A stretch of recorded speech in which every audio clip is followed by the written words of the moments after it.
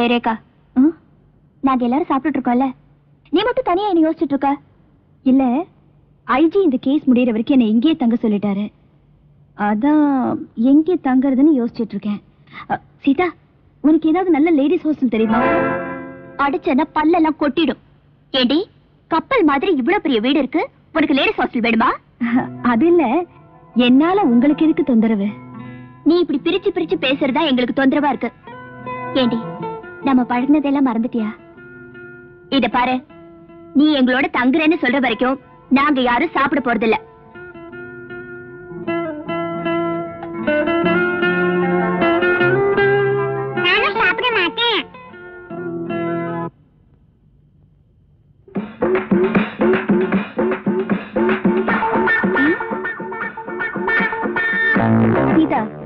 நான் இங்க தங்கணும்னு இந்த குழந்தை கூட நினைக்குது. உன் வீட்டுக்காரரை பத்தியா? சரியான சாப்பாட்டு ராம. நான் இங்க தங்குறது. இவருக்கு பிடிக்கல போல இருக்கே. ஆமா எனக்கு பிடிக்கலதான் ஏ ஏன் பிடிக்கல?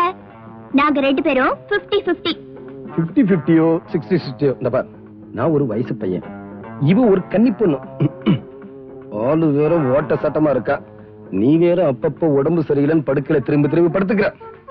சும்மா கிடக்கிற சங்கு ஊதி அப்புறம் ஒண்ணு கிடக்க ஒண்ணு ஆகி ஏதோ கசமுசா ஆகி என் கற்பு பறிபோயி நீ கண்ணீர் வடிக்கணுமா? சொல்லு. கசமுசவா அப்படின்னு என்ன? இதை விட விளக்கமா எப்படி சொல்றது? ஆட பாரு. செக்ஸியா இருக்கா. பார்வையே சரியில்லை. கோவாவிலேயே நான் மடக்கலாம் ட்ரை பண்ணா நடக்கல. இங்கேயே செட்டப் ஆகி நம்மள பிடிச்சிடான் பிளான் பண்ணிக்கிட்டு இருக்கா. ஆமா நான் இல்லைன்னு சொல்லலையே. ஆளப் பாரு. கருப்பா இருந்தாலும் களையா. நல்ல நாட்டுக்கட்ட மாதிரி. வாட்ட சட்டமா இருக்காரு. எந்த பொண்ணுக்கு தான் ஆசை வராது. அத ட்ரை பண்ண. பாத்தியா சீதா? பார்வதா செக்ஸியா இருக்குன்னா பேச்சு செக்ஸியா இருக்கு. இவ எங்க தங்குனா நீ மோசம் போயிருவ. மோசம் போனாலும் பரவாயில்ல. இந்த வீட்ல எனக்கு இருக்கிற உரிமை அவளுக்கும் இருக்கு. ஏன்னா நானும் அவளும் பாதி பாதி. புரியுதா? 50 50 நீங்க அவளுக்கு என்ன கொடுத்தாலும் அதையே எனக்கும் கொடுக்கணும். அப்போ அவ எனக்கு என்ன கொடுத்தாலும் அதை நீ எனக்கு கொடுப்பியா? கண்டிப்பா கொடுப்பேன். வார்த்தை தவற மாட்டியே நெவர் தவற மாட்டேன் சீதா ஒரு முருங்கைக்காய் எடுத்து வை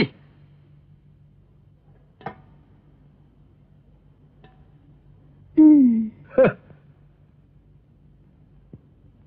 ம். ம்ஹும். சீதா ஒரு கை சோரடு.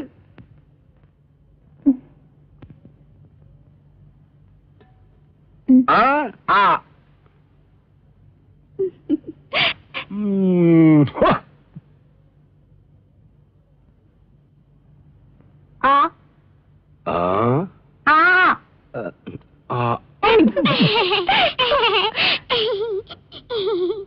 சீதா சிக்கனை கட்டிப்பிடிச்சு. பசக்குன்னு ஒரு முத்தம் கொடு. சீதா சீதா. வேண்டாம்.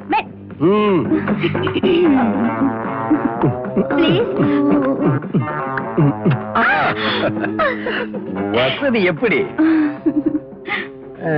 இத குடுக்க முடியுமா?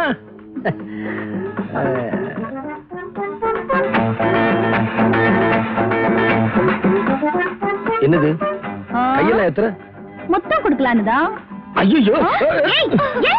ஐயோ வைனாங்கோலி ஆமா உன் குழந்தை தலை இன்னும் மறவே இல்லையேடி. ஆண்டி நல்ல ஆண்டி. அப்படியா? ரொம்ப பிடிக்கும். இனிமே இந்த ஆண்டி எப்போ உன் கூட தான் இருப்பாங்க. ம்? ஓகே.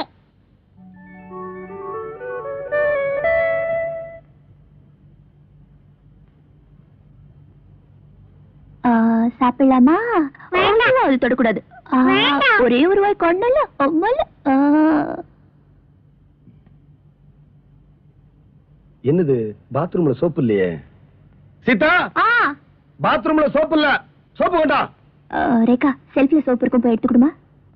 ம், சோப்பு எடுத்துட்டு வரட்டும் உள்ள இழுத்து போட்டு ஒரு கஜாம சாத்தா.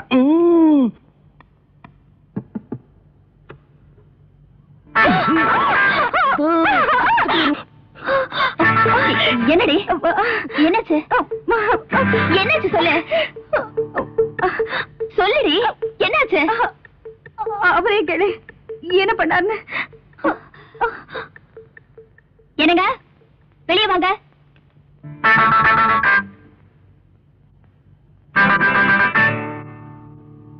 சிதா உன் முட்டைக்கண்ணை போட்டு அப்படி உருட்டி உருட்டி பார்க்காத. நான் மனசால கூட எந்த தப்பும் பண்ணல. நீயும் நினைச்சுதான் அவ கையை பிடிச்சு உள்ள இழுத்துட்ட. அவ்வளவுதான். இதெல்லாம் என்கிட்ட வச்சுக்கணும். அவகிட்டயா? அவளை யார் சோப்பு கொண்டு வந்து கொடுக்க சொன்னது? உங்ககிட்ட தானே கேட்டேன். நான் குழந்தைக்கு டிஃபன் கொடுத்துட்டு இருந்தேன் ஆனால் அவகிட்ட கொடுத்தாச்சா இது தப்பா? சரி சோப்பு கொடுக்கும் போதாவது நான் தான் ரேக்கான்னு சொல்லி கொடுத்துருக்கலாம்ல. அவளுக்கு என்ன தெரியும்? நீங்க லோடுக்கு கையை பிடிச்சி இழுப்பீங்க என்ன? என்ன நீ? நான் தான் தப்பு பண்ண மாதிரி அவளுக்கே வக்காலத்து வாங்கிட்டு இருக்க? பின்ன என்னவா? ஏய் சொல்லுடி என்ன நடந்தது? சும்மா இருந்துக்க மாட்டேன் இந்த மன்மத. இல்ல கொஞ்சம் கூட நான் எதிர்பார்க்கலாம் சிக்குன்னு கட்டி பிடிச்சு பச்சக்குன்னு முத்த கொடுத்துப்பாரு ஐயோ அதெல்லாம் ஒண்ணு இல்ல அதுக்குள்ள நான் ஓடி வந்துட்டேன். பாத்தியா அவளே ஒத்துக்கிட்டா. நான் ஒண்ணும் பண்ணலன்னு. நீயும் நினைச்சுதான் முத்தம் கொடுக்கலான்னு பார்த்தேன். அவன் மூஞ்ச பார்த்ததான் ஷாக் ஆயிருச்சு. உன் மூஞ்சி தான் அழகான மூஞ்சியாச்சே. அப்ப ஏன் மூஞ்சி? காய்கறி கடை கட்ட போய் கேளுமா. உண்மையாவே நான் தான் நினைச்சு கைய பிடிச்சு எழுத்தீங்களா? இல்ல வேற ஏதாவது பிளான்ல ஒத்துடா. எனக்கு முன்னமே தெரியும் இப்படி சந்தேகம்லாம் வரும்னு. நிறுத்துங்க. செய்யறதையும் செஞ்சுட்டு சாமி வேற ஆடுறீங்களா சாமி? சும்மா இருங்க. எனக்கு கூட பயமா தான் இருக்கு. இன்னைக்கு நீங்க நினைச்சு கைய பிடிச்சு இழுத்தாரு நாளைக்கு சும்மா இரு. ஆமா சீதா. எனக்கு நல்லதா படல. எதுக்கு வம்பு? அவளை கொண்டு போய் லேடிஸ் ஹாஸ்டல்ல சேர்த்துரு. ஐயோ என்னங்க இது இந்த சின்ன விஷயத்தை போய் இவ்வளவு சீரியஸா எடுத்துக்கிட்டு? உங்க ரெண்டு பேரை பத்தி எனக்கு நல்லா தெரியும். போதுமா? போங்க போய் குளிச்சிட்டு வாங்க. போங்க. சீதா சோப்பு கொண்டா. ஐயோ சோப்பு கீப்பெல்லாம் எடுத்துட்டு போயிடாத. உன் வீட்டுக்காரர் புடி இருக்கே. பயங்கரமான புடி ஆமா எப்படி சமாளிக்கிற? அவளுக்கு ரெண்டு வருஷமா பழக்கம் இருக்கு. நீதான் புதுசு.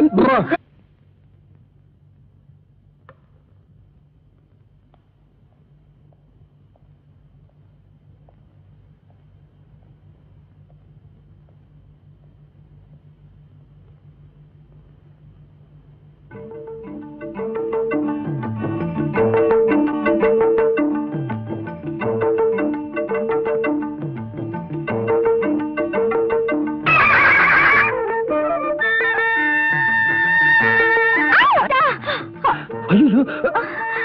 என்னடி?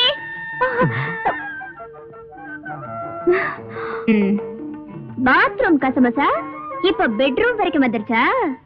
எல்லாம் உன்னாலதான். உன்னோட பெட்ரூம்ல நீ படுக்கிற படுக்கையில இன்னொரு பொண்ணு படுக்க வைக்கலாமா நீ ஒரு மடச்சி. நான் ஒண்ணு மறைச்சு இல்ல. உங்களுக்கு சூடா மடிச்சு கொட்டுமே தான் கிச்சன்ல இருந்தேன். இவன் என்னடானா குழந்தைய தூங்க வச்சுட்டு இங்கேயே தூங்கிட்டா. அதுக்காக வந்தது வராதுமா லுங்கிய கட்டிக்கிட்டு இப்படியே நடந்துக்கிறது? நான் எப்பவும் போலதான் லுங்கிய கட்டிக்கிட்டு. யாருக்கிட்ட அது மட்டும்தான் மாறி போச்சு. ஆனா ஒண்ணும் நடக்கல. சீதா உன் புருஷன் வெளியில தான் காவலன். வீட்டுக்குள்ள கோவலன். ஏய் கோவலம் கிவலம் சொல்லி குடும்பத்துல சிக்கல் ஏற்படுத்தாத. முடிய பாரு திருவிழாவுல காணாம போன மாதிரி. சீதா படுத்திருந்தது நீதான் நினைச்சு. இந்த ஐஸ் எல்லாம் வேணாம். நானும் தான் பாக்குறேன்? நான் தான் நினைச்சு பாத்ரூம்ல கசமசா நான் தான் நினைச்சு பெட்ரூம்லயும் கசமசா ஆமா நான் தெரியாம தான் கேக்குறேன். உங்களுக்கும் அந்த பொண்ணு மேல ஏதாவது கண்ணா? சேச்சி சீதா உன் பெர்சனாலிட்டி என்ன? அவ ஜனக் ஜனக் பாயல் பஜே. இதெல்லாம் ஒரு ஆக்சிடென்டா நடந்தது தட்ஸ் அது சீதா ஒரு தடவை நடந்தா அது ஆக்சிடென்ட் அடிக்கடி நடந்தா அது ஆக்சிடென்ட் இல்ல இன்சிடென்ட் ஏய் 50 உன்னையவே சீதா பெட்ரூம்ல வந்து படுக்க சொன்னது? படுத்தா? படுத்திருக்கிறது பொண்டாட்டியா இல்ல பக்கத்து வீட்டுக்காரியான்னு தெரிஞ்சுக்காம கை போடுறதா? நான் என்ன பண்றது? கை போடும்போது சீதா இடுப்புமா இருந்தது. நீ வேற மூஞ்சிய மூடி படுத்துக்கிட்ட. உங்களை பத்தி எனக்கு தெரியாதா? என்ன? உங்க ஃபர்ஸ்ட் நைட் அன்னைக்கு சீதா உள்ள வர்றதுக்கு முன்னாடி ரூம் அலங்காரம் எல்லாம் கரெக்டா இருக்கான்னு பாக்குறதுக்கு உங்க மாமியார் உள்ள வந்தாங்களா? உடனே லைட் ஆஃப் பண்ணிட்டு மாமியார கட்டி பிடிச்ச ஆளாச்சே. ஐயோ மானமெல்லாம் போதே. இதெல்லாம் உனக்கு யார் சொன்னது? நான் தாங்க சொன்னேன். நீங்க தான் சொன்னீங்களா? ஒரு தொண்டரை வாங்கி தரேன். ஊரு ஊரா போய் அடிச்சிட்டு வந்துருங்க. மாமியார கட்டி பிடிச்சது என் புருஷன் தான் மாமியார கட்டி பிடிச்சது என் புருஷன் தான்.